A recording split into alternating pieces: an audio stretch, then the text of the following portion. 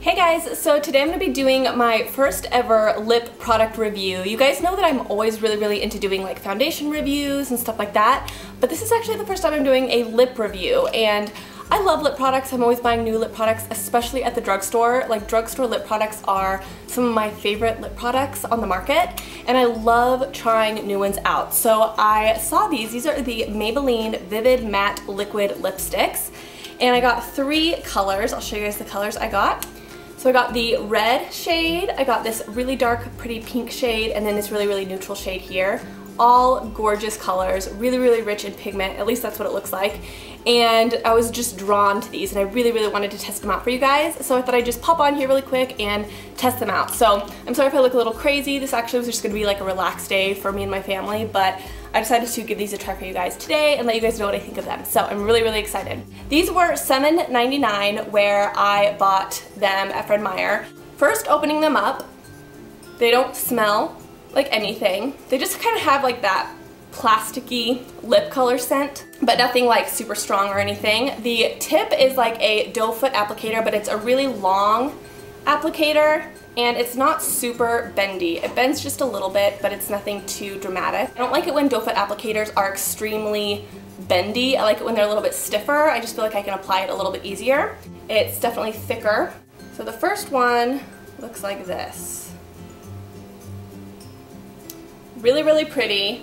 Really, really rich in pigment. It's almost like a mousse, like a moussey, almost like frosting. These are like frosting. That's totally a good like description, frosting or icing or something like that. So, so I'm gonna do the first color. This is the really pretty nude color in Nude Flush, number 10. And this literally just glides on so smoothly. Literally, it feels like you're like icing a cake or something. It almost has like a silicone primer feel to it. Like, you know how those silicone primers just like glide onto your skin? That's what these feel like. They definitely have something like that in them.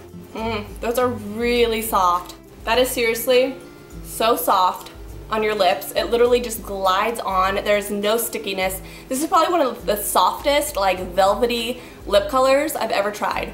And it's beautiful. This color is beautiful. I love it. It's so natural. All right, so the next color I'm gonna try is this really pretty berry shade.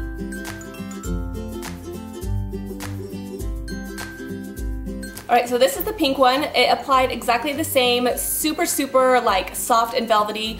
Um, they apply really even as well is what I'm noticing. Like you don't get like streakiness or anything like that. Like when you apply them, it's like the same color all over your lips. So that's a really good thing. You don't have to sit there and blend it.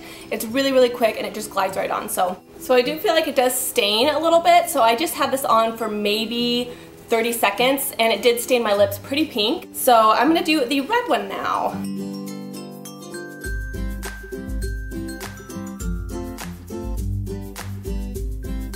So the red one applied exactly the same way, really, really smooth, really velvety, just like the other two.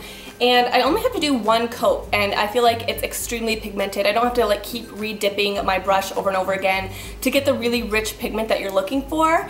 And like I said, it goes on like completely even. There's no streakiness whatsoever. And it's so velvety. Like this is the most velvety, buttery lip color I've ever used.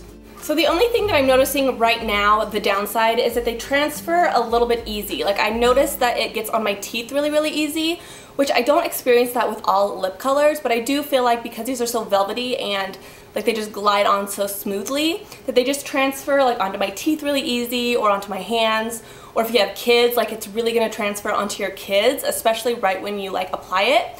So that's one thing that I am noticing is it does transfer because it is just like buttery. Um, but I will let this dry on my lips and just kind of wear it around for a while and let you guys know kind of how it dries or how it lasts you know, within like an hour, hour or two. But right now, these are really, really amazing. The pigment is amazing, the texture is amazing. Everything about these right now I am loving, except for the transferring. Right now, I'm gonna give them five stars, even because they transfer. I mean, transferring is you know, whatever. I mean, if you're careful, it's not going to transfer, but um, as far as everything else, like five stars. I love them. So I'll let you guys know what I think in a couple hours. Alright guys, so it's a little bit later and right now I'm still really, really loving the lipstick. I feel like it stayed extremely um, bright and I love the consistency of it still but I did notice again that the transferring was really really bad. I kissed my daughter when she woke up from her nap and it literally got all over her lips. Um, I'll show you guys. So I mean, it's not like a long-lasting lipstick or it's not like a super stay lipstick by any means. You're not going to get like a full day wear out of this lipstick, I don't think. Um, but even with that said, I still really love it and I feel like I could buy more colors in this. I just really love the consistency. I feel like right now, after having it on for a while, it kind of feels like um, a lipstick would feel right when you apply it. So you know when you just apply a lipstick and it still feels really creamy and really smooth, it hasn't dried out at all, that's how it feels but like a few hours later. So I really, really like that about it. It's definitely not drying, it's moisturizing, it doesn't feel like it's like drawing my lips out or like creasing or crumbling or anything like that, cracking. Um, so I personally really like it. I'm a huge fan of these. I would definitely purchase more. Like I said, if you have kids or something that you're constantly kissing on or babies that like to grab your face, these probably aren't the best for you, but I personally like them and I would definitely give them two thumbs up and I say give them a try.